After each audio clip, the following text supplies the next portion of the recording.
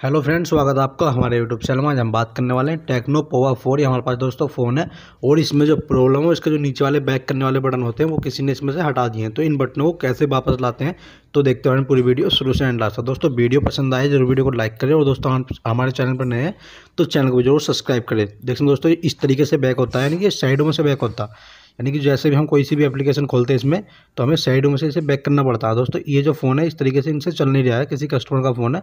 तो हमें इसके बटन लाने के लिए सबसे पहले करना क्या है दोस्तों? सेटिंग में जाना है। तो मैं सेटिंग में चले आता हूँ। यहाँ से दोस्तों सेटिंग पर जा रहा हूँ तो सबसे पहले मैं सेटिंग पर चले आता हूँ।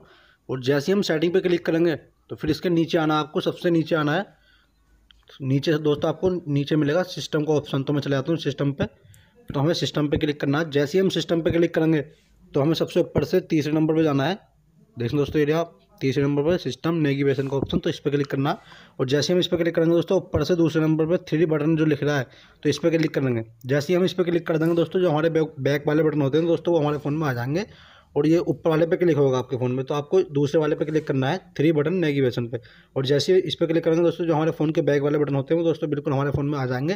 तो आपको भी अपने फ़ोन के इसी तरीके से आपको बैक वाले बटन आने हैं। दोस्तों, वीडियो पसंद आए, ज़रूर वीडियो को लाइक करें। और दोस्तों, हमारे चैनल पर नए हैं तो चैनल को ज़रूर सब्सक्राइब करें। थैंक यू फॉर वीडियो देखने आपका दिन शुभ